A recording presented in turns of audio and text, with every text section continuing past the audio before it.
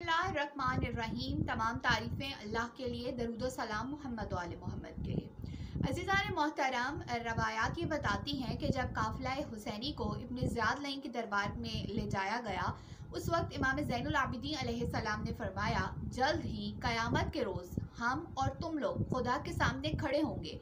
हमसे और तुमसे पूछा जाएगा और तुम्हारे पास सल्लल्लाहु अलैहि वसल्लम के लिए कोई जवाब ना होगा।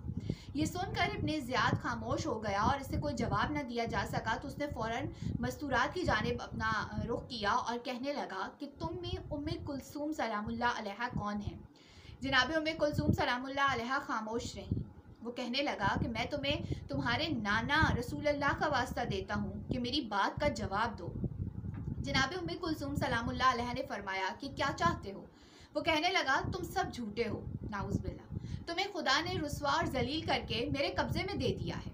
ये सुनकर जनाब में कुलसूम सलामुल्ला ने फरमाया, ओ दुश्मन खुदा ए नुतफ़ा हराम, जो फासिक हो, वो झूठ बोलता है और वही रसवा और जलील हुआ करता है। खुदा की कसम, तू ही झूठ और बदकारी के लिए सबसे ज़्यादा सजावार है। तुझे आतिश जहन्नम की खुशखबरी हो ये सुनकर इब्ने ज़ियाद मलून हंसने लगा और कहने लगा, अगर मैं जहन्नुम में चला भी जाऊँ तो मेरा दिल तुम्हारी तरफ़ से अब ठंडा है।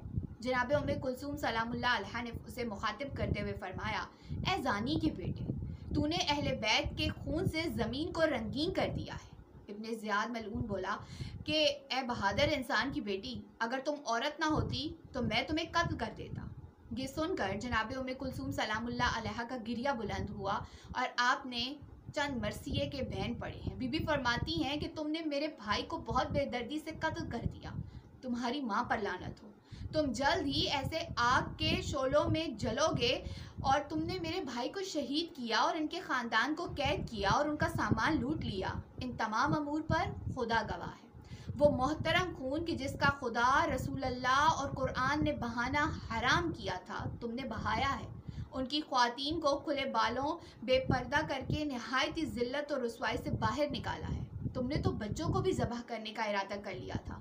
ये जुल्म मेरे नाना, मेरे बाबा और मेरे मादरी ग्रामी और हर नेक इंसान पर कितना शाक है। हाय अफसोस, मेरी जान आलम मुसाफरत में शहीद होने वाले पर कुर्बान हो और उस मज़लूम कैदी पर जो बेड़ियाँ पहने हुए है, मेरी मुसीबत जब मेरे भाई का सर नेज़े पे बुलंद हुआ। अजीज़ान मोहतरम इबन ज़्याद मलून का दरबार जो कि कोफा में था। कोफा के बाज़ारों से आते हुए जब दरबार तक पहुँचे तो ये नहायत ही मुश्किल वक्त था।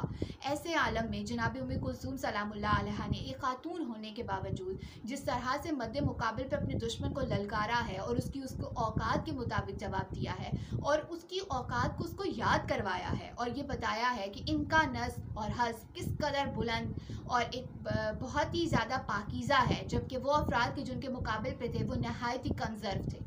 जनाब में कुलसूम सलामुल्लाह ने न सिर्फ़ ये कि नहायत बहादरी से उसके तमाम सवालों का और तमाम तर जो तंज थे उनका जवाब दिया, बल्कि वाक़ करबोबला को इस मरसिए के और इस मुख्तसर तरीन जुमलों में मुकम्मल बयान भी कर दिया है कि किस तरह से आका हुसैन सलाम को शहीद करने के बाद उनके अहल बैत को कैदी बनाया गया, किस तरह से खातन के सरों से रिदाओं को छीना गया और किस तरह से उनको आलम कैद में दरबारों और बाज़ारों में पेश किया जा रहा है।